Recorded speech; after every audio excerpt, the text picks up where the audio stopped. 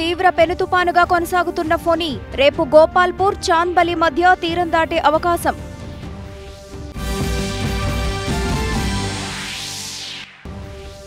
ఫొని ప్రభావంతో ఉత్తరాంధ్ర జిల్లాలో ఈ రోజు రేపు భారీ వర్షాలు కురిసే అవకాశం. కళింగపట్నం భీమిలి పోర్టుల్లో పదవ నెంబరు ప్రమాద హెచ్చరిక జారీ.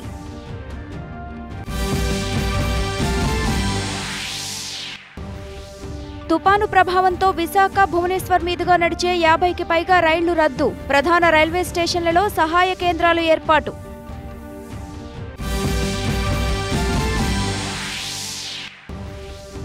రాష్ట్రంలో ఐదు చోట్ల రీపోలింగ్. ఈ నెల ఆరున నిర్వహించాలని కేంద్ర ఎన్నికల సంఘం నిర్ణయం.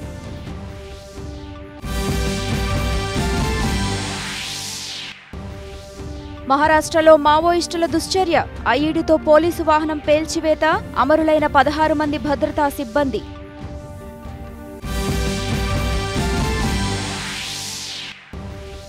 భారత్కు భారీ దౌత్య విజయం. మసూర్ అజర్ను అంతర్జాతీయ ఉగ్రవాదిగా ప్రకటించిన ఐక్యరాజ్యసమితి.